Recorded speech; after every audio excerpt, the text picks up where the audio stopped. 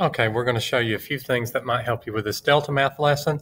First one, Pythagorean theorem. Pythagorean theorem, simply put, is a squared plus b squared equals c squared.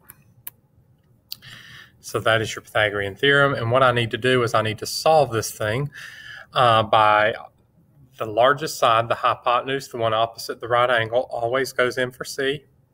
And it doesn't really matter what you pick for a and b I usually put the one that looks a little shorter in as A and the other one is B and C is hypotenuse, the longest one. But how you set that up doesn't matter. So I'm going to get B squared. I would need to subtract 35 squared from both sides. And generally, I do not multiply those out.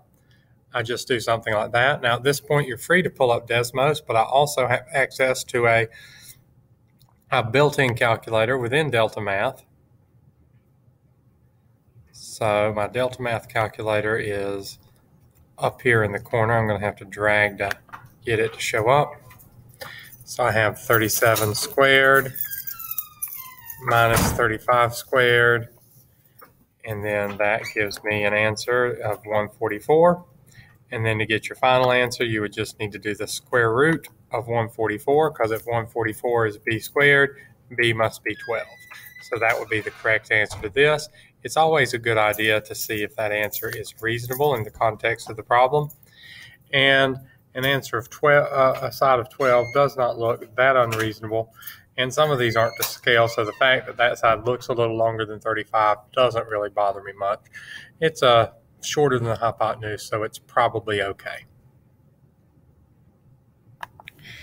Okay, Pythagorean theorem again, but I'm in the last section, which is uh, extra credit for regular students, but it's a um, good thing to know how to do.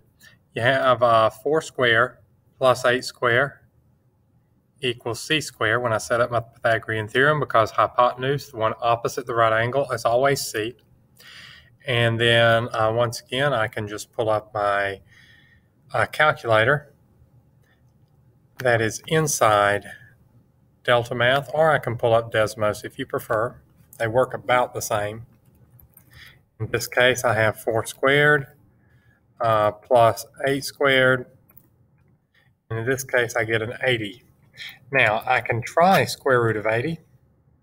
I'm going to get a decimal. And if you were in your first lesson, it would have wanted it to the nearest tenth or something, so 8.9 would have been acceptable. But in this case, it wants simplest radical form. In other words, they're wanting you to break down that 80. So remember, you can break down that 80 in two ways. I can either take the 80 and see what divides out of it. A 2 comes out. I can take out another 2. I can take out yet another 2. Wow, seems to be a lot of 2's coming out of 80. So that's two pairs of twos and a five. Remember, each pair of twos gives a number outside. So I have two times two, and the five is stuck inside. So two times two, root five.